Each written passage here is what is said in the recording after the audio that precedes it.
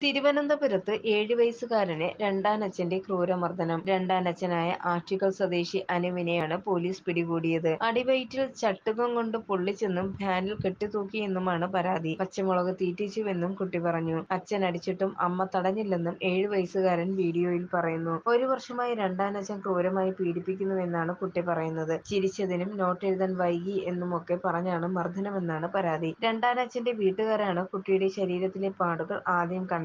അമ്മയ്ക്ക് അസുഖമായതിനെ തുടർന്നാണ് കുട്ടി ഈ വീട്ടിലേക്ക് രണ്ടു ദിവസം മുൻപ് പോയിരുന്നു. ഈ വീട്ടുകാരാണ് വീഡിയോ ചിത്രീകരിച്ചത്. പിന്നാലെ പോലീസിലും പരാതി നൽകി. കുട്ടിയുടെ ശരീരമാസകലം അടിയേറ്റതിന്റെ പാടുകളുമുണ്ട്. ഇരുകാലുകൾക്കും താഴെയും മുറിവേറ്റതിന്റെയും പാടുകളുണ്ട്. പരാതിക്ക് പിന്നാലെ അനുവിനെ ഫോർട്ട് പോലീസ് കസ്റ്റഡിയിലെടുത്തു. കുട്ടിയുടെ അമ്മ അഞ്ജനയെയും ചോദ്യം ചെയ്യുകയാണ്. അഞ്ജനയെ ആദ്യ ഭർത്താവ് ഉപേക്ഷിച്ചു പോയതാണ്. അതിന് പിന്നാലെയാണ് ബന്ധുവായ അനുവിനൊപ്പം ഒരു വർഷമായി ജീവിക്കുന്നത്.